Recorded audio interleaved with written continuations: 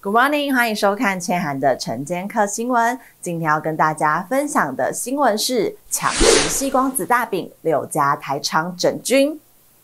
台积电、日月光、智邦等产业龙头齐看好细光子及 CPO 技术，将改变产业结构，打破业界藩篱。不过，目前仍有许多瓶颈，如晶片良率、标准制定等待解决。预计实际贡献时间点需等到二零二五年后。但细光子可应用在通讯传输、声音感测、赖打、AI 高速传输、智慧医疗、自驾车等。